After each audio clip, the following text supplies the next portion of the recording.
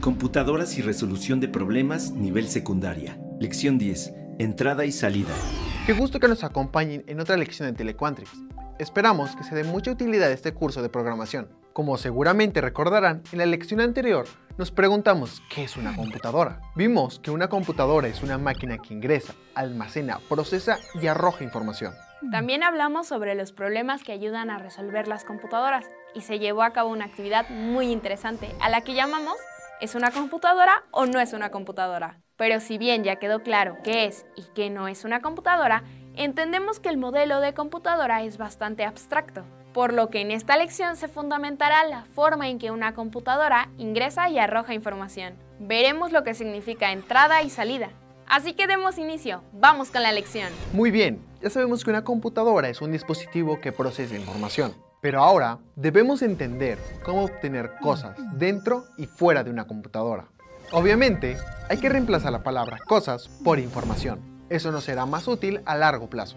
Ahora sí, podemos decir que una entrada es un dispositivo o componente que permite que se dé información a una computadora, mientras que salida es cualquier dispositivo o componente que recibe información de una computadora. Esa información puede ir desde documentos, videos, música, hasta aplicaciones, juegos, hojas de cálculo e incluso sitios web. Después de este ejercicio, será más fácil entender y diferenciar los dispositivos de entrada y de salida.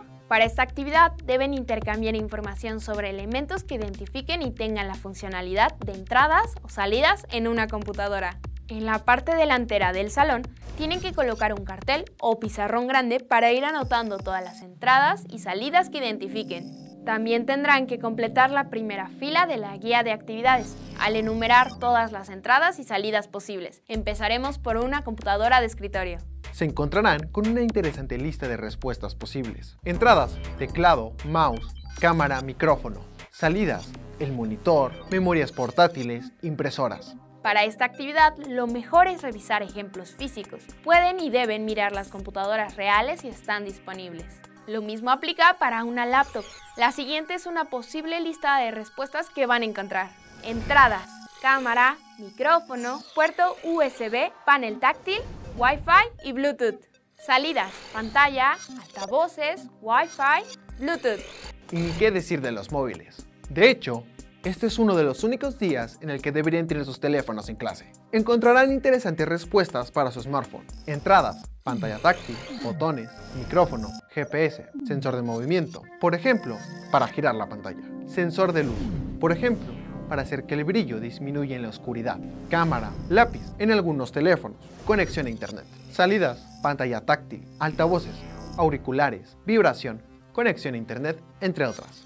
Para finalizar, es importante reflexionar que la propia comunicación a través de Internet es una forma de entrada y salida. Qué interesante, ¿no? Por ejemplo, si un teléfono inteligente te muestra dónde te encuentras en un mapa, entonces, por lógica, debe haber algún tipo de entrada, un sistema GPS, que proporcione esa información. ¿Cuántos ejemplos más como este se te ocurren? Comprender todo acerca de las entradas y salidas de una computadora será muy importante para entender lo que se verá en la siguiente clase. En el próximo episodio... ¡Hasta, pronto! Telequantrix.